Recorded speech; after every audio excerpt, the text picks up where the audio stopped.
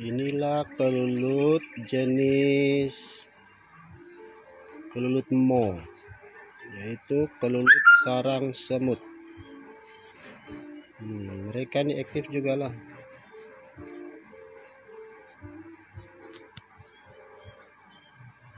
Tapi kelulut ini pemalu sedikit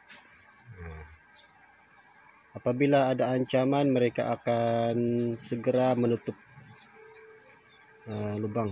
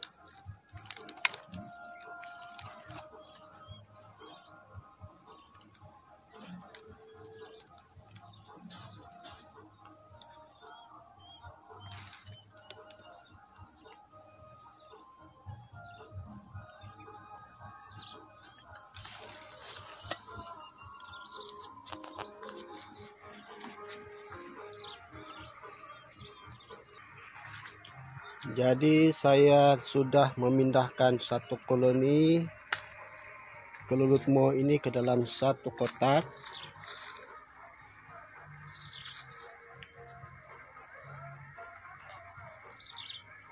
Mereka sudah dipindahkan di sini selama dua minggu. Oke kita akan coba buka kotak ini apakah ada perkembangan di dalam?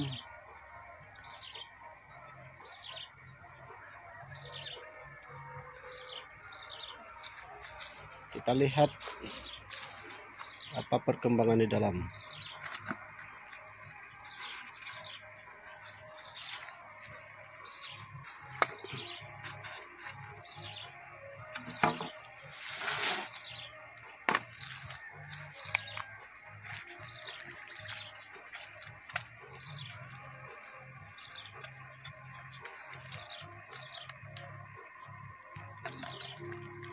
nah ini dia.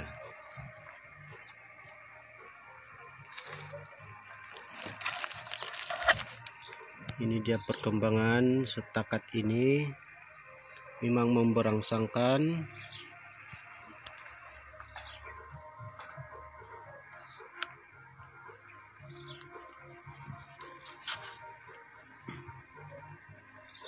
Ini kantong madu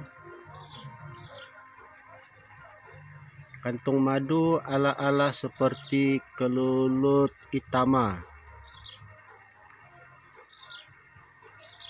Nah ini kantong madu. Tak berapa jelas.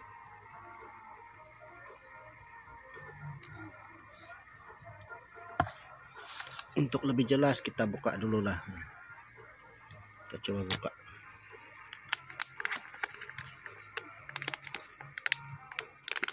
nah itu dia. Nah ini adalah kantong madunya. Ala-ala kan, kantong madu jenis kelulut hitam.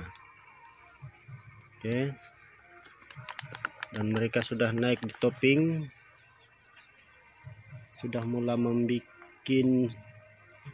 kantong-kantong madu. Oke cantik ini satu perkembangan. Ini selepas dua minggu saya pasangkan.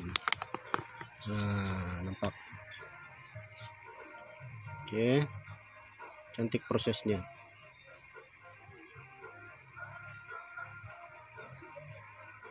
Boleh lihat dari dekat. Mari saya zoom in. Ya tonton ini dia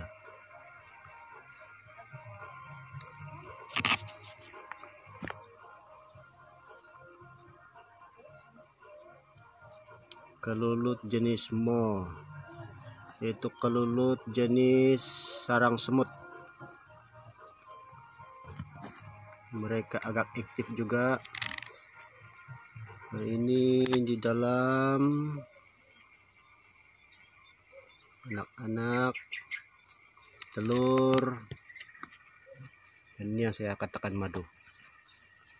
Nah ini kantung madu ala-ala kantung madu jenis itama. Nah. Dan dia agak besar ah. Oke agak besar. Tengok tengok ah. agak besar. Oke ini satu perkembangan yang baik. Ada lagi di sana kantong madu nah, kantong madunya lagi ini kantong madu. Ya itu dia kantong madu. Oke. Walau bagaimanapun perkembangan untuk kelulut ini agak slow.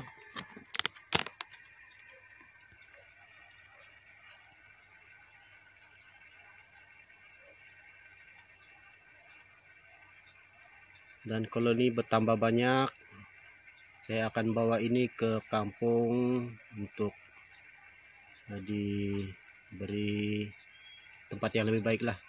Di kawasan ini sekarang kelilingnya tidak memberangsangkan kurang tumbuh-tumbuhan nah, dan di sini agak jauh untuk mereka mencari makan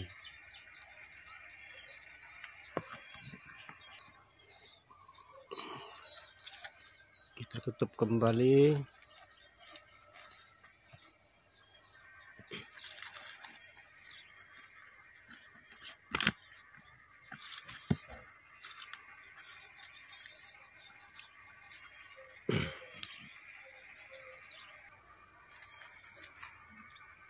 Oke ini dia corong masuk ala-ala corong utama juga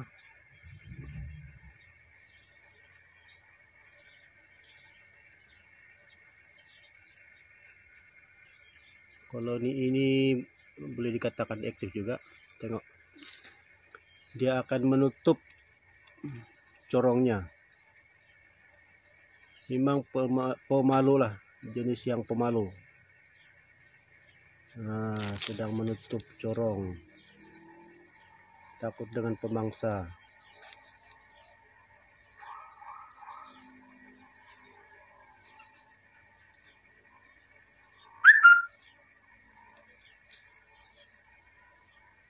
sedang menutup corong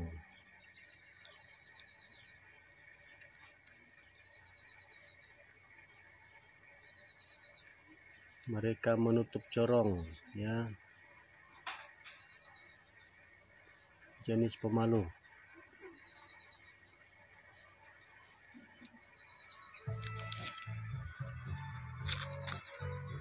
Apa pun tolong like share dan subscribe